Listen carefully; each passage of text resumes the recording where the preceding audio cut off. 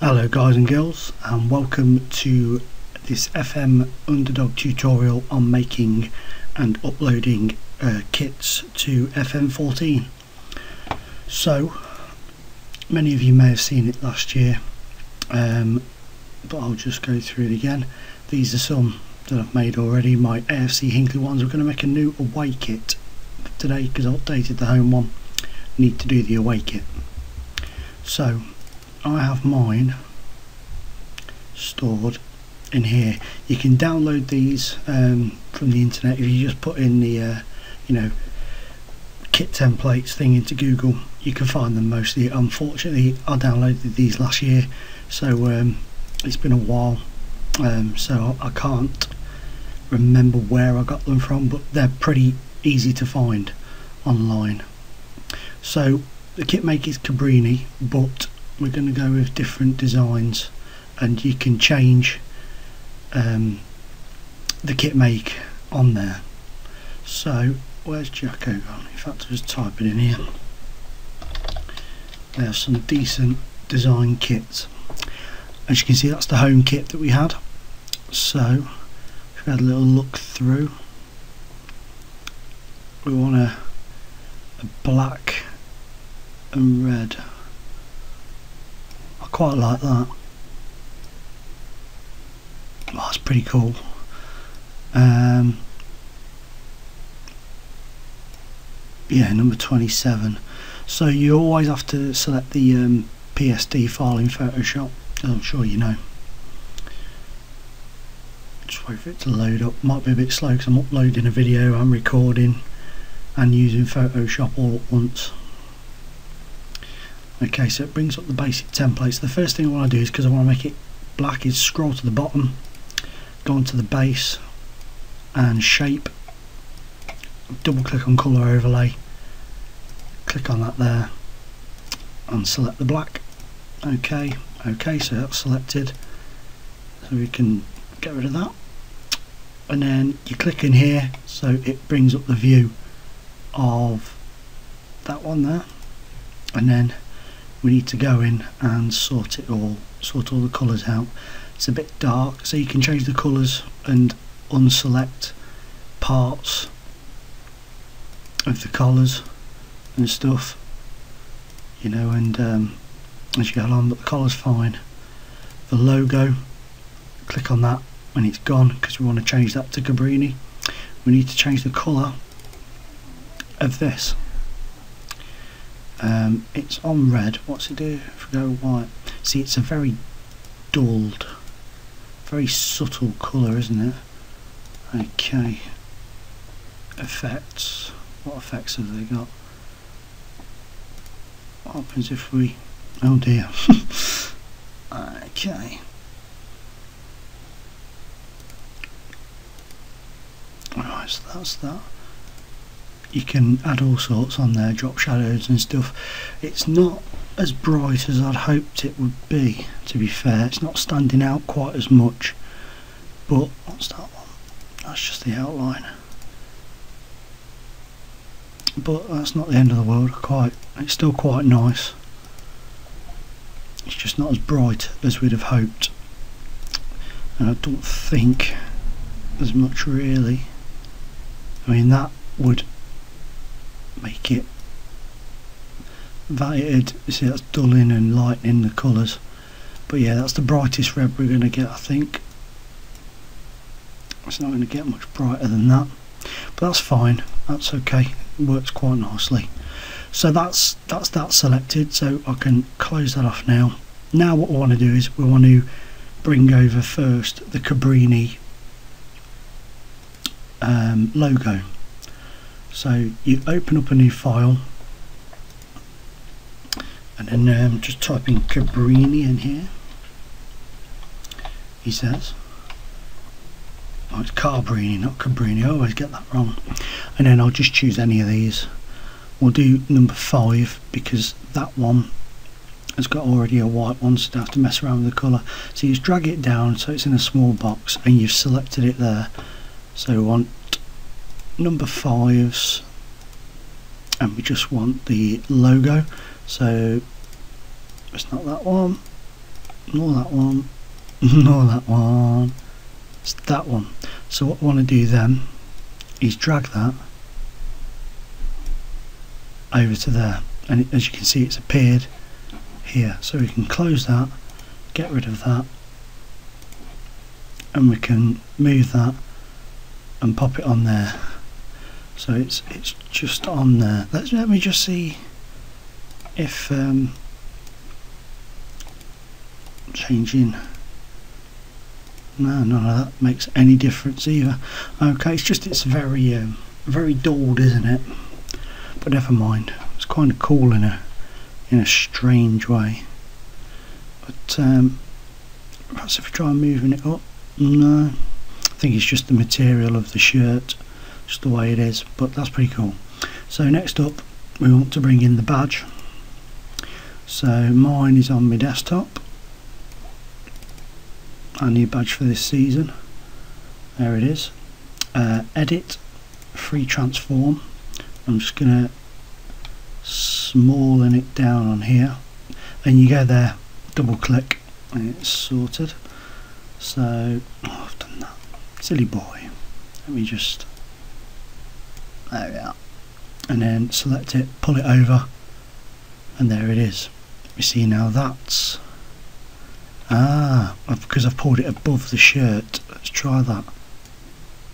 Oh hang on a minute. We could be onto a winner here. See because I'm putting it above the selected shirt it's actually shining more. Hey there we go. That's better.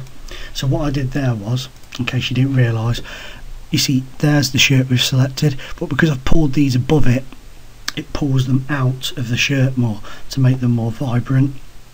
So now we can dull this down to a darker red. Something something like that. I'm happy with that. Okay.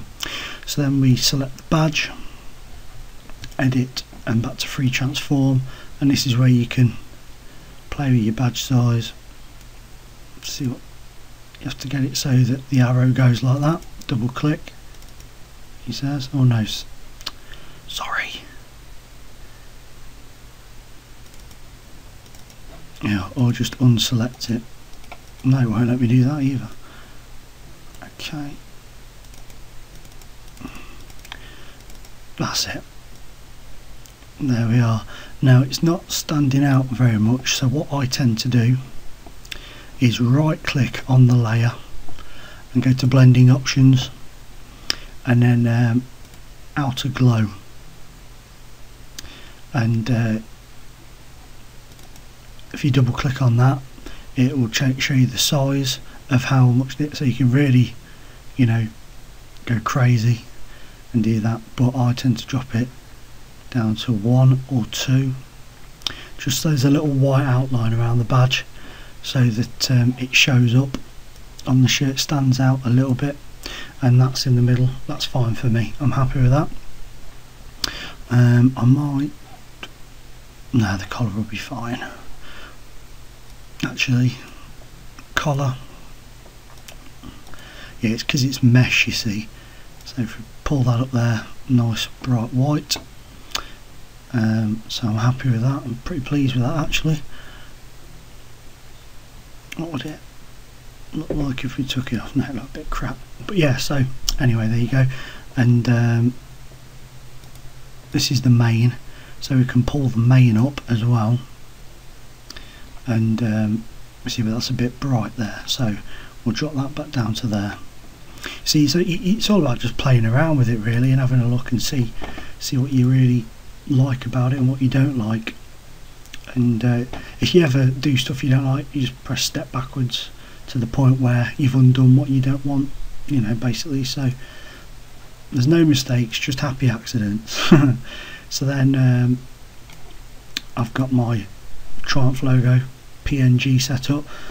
If you don't know how to PNG it's quite simple. Normally you can um, if you just type in like I did Triumph logo PNG and it, it gets them you get them in Google quite easily to be fair but um, if not I've also got GIMP downloaded. GIMP is easier to um, delete the background in my opinion than it is on, um, on Photoshop.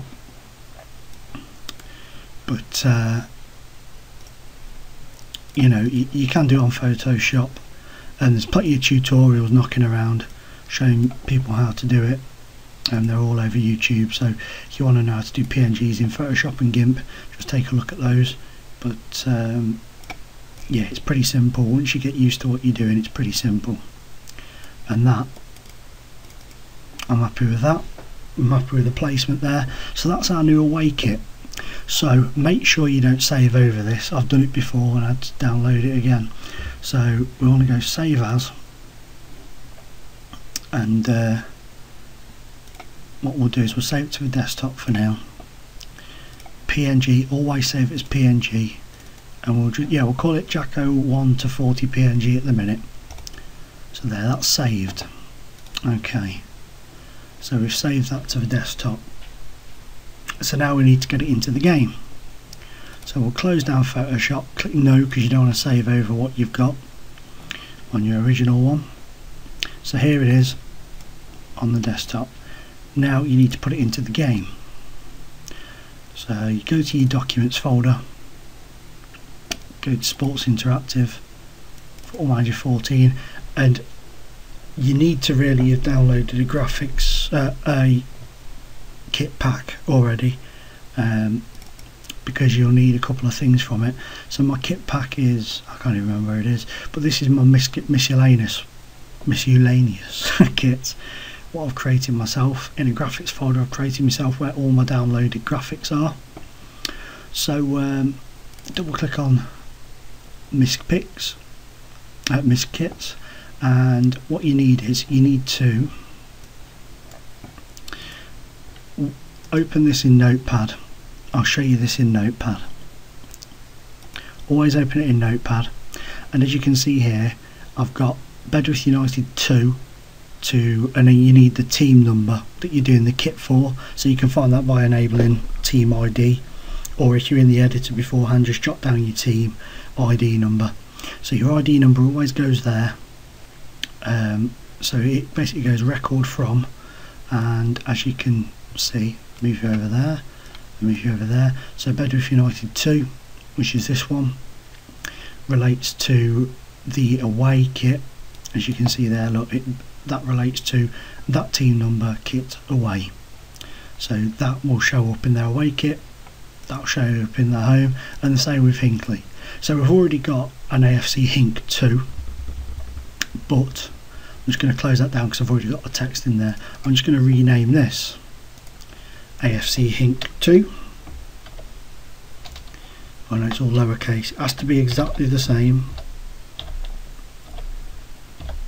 has to be exactly the same uh, in there in the config file as what it says here and the team number obviously needs to be right otherwise it won't work. So it says there it's already got one of those in so we'll just click on move and replace and it's in there. So that means then when you load up Football Manager 2014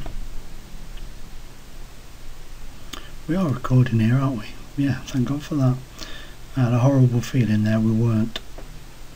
But when you load up FM14, it should, by all rights, be in there. Get rid of that one over here, don't need that anymore.